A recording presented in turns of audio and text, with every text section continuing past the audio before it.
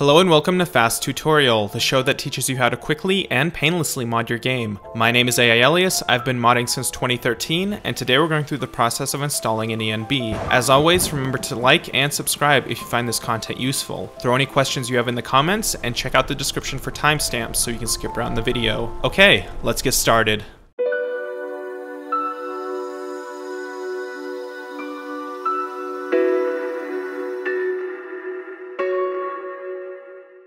Frequently asked questions. What is an ENB? ENB is a graphical enhancement to Skyrim that changes how the game is rendered. Using presets, users can change the post-processing of Skyrim to make it look more visually appealing. How does ENB differ from a typical Skyrim mod? ENB does not contain any plugins or data for the game engine to use. All effects are created outside of that environment. Because of this, ENB is installed in the root Skyrim directory rather than the data folder.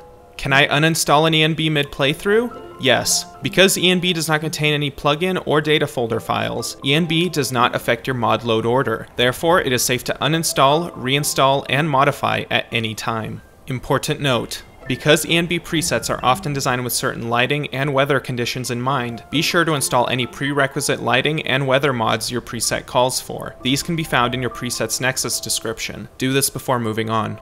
Installation. First, find the ENB preset you want to use on Nexus. Obviously, search Skyrim Legendary Edition presets on the Skyrim Nexus and Special Edition presets on the Skyrim Special Edition Nexus. For this tutorial, I am using the Rudy preset on Special Edition, as it is a community favorite. Once you've done that, read the description to find out which ENB binary version your preset uses. Rudy requires the latest. Now that we know which ENB version we need, we can go to the Skyrim Special Edition ENB Dev download page. If you're playing on Skyrim Legendary Edition, go to the regular Skyrim ENB Dev download page. Links to both down below. Click on the version number you need to install and scroll down to the bottom of the page. Then click on the down arrow to start the download. Once the download finishes, open up the archive with the program of your choosing. I am using 7-zip. To ensure that no excess files are installed during the installation of ENB, follow the directions on your ENB presets Nexus page. As you can see, Rudy only requires d3d11.dll and decompiler 46e.dll, so we're going to copy those files into our root Skyrim directory. We can now close out of the archive.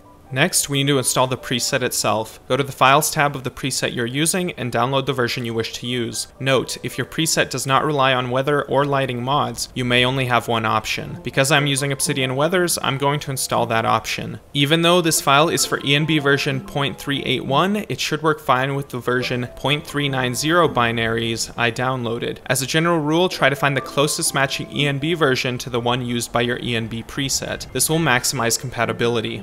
Open up the archive of the preset you downloaded and read the README file if it is included. Follow any preset-specific directions they may contain. Rudy has two folders, one with the core files we need for the Obsidian Weathers preset, and one with optional features we may want. Most ENB presets are set up like this, but don't be surprised if yours looks different. The first thing we're going to do is install the core files needed for the preset to function. For Rudy, that's the ENB series folder, enblocal.ini, and enbseries.ini. These are what are used by most presets files.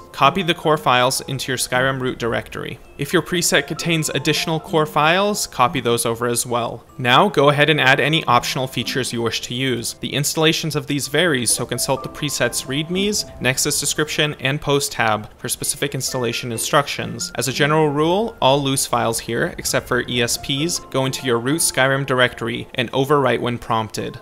At this point, we are just about done. Adjust any skyrim.ini or skyrimprefs.ini values your preset calls for. Rudy wants us to set f gamma to 1 and b draw land shadows to 1 in skyrimprefs.ini. These are both located in Documents, My Games, Skyrim, or Skyrim Special Edition. Open the files in Notepad and set any specific values according to your preset's description. Note that Control F allows you to search the documents for specific text, making this process easier. MO2 users, adjust any .ini INI settings in your INI editor found under Tools.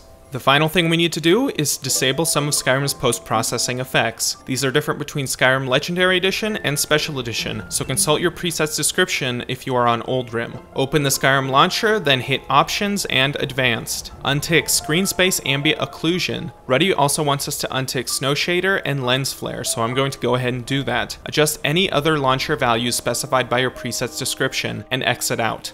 Congratulations, if you followed any other directions in your preset's description, your ENB preset should now be installed correctly. When you open up the game, you should see an ENB version number in the top left of your screen. And if you press your ENB menu hotkeys for Rudy, that's Shift plus Enter, an ENB menu will appear. This menu allows you to toggle settings like depth of field, black bars, and many, many other settings, basically further allowing you to adjust your ENB preset to fit your tastes. Just be sure to save it when you make any changes you like. Press the hotkeys again to close the menu, and you're golden. Your game should now look much more visually appealing. Did you like that video? Awesome. Go down below, like, sub, and comment. It really helps me get more videos like this one out there. Check out the description for a link to my Discord. We have an amazing Skyrim modding community over there, and it's a great place to ask modding questions and have discussions. Click the top video to learn what this channel is all about, and the bottom video to go to my Skyrim 2019 modding guides. Catch you in the next one.